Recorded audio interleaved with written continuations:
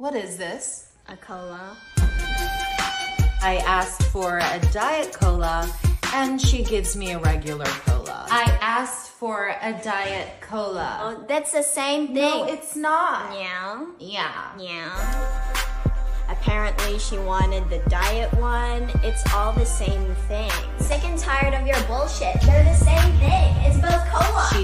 Starts walking into the window. Where are you going? Maybe you should go get your own stuff for a change. This is not about the cola. It's about being a responsible sister.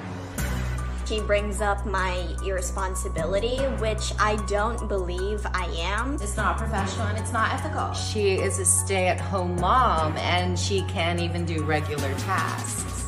I'm done. I'm leaving. Go leave like you always do, running away from your problems.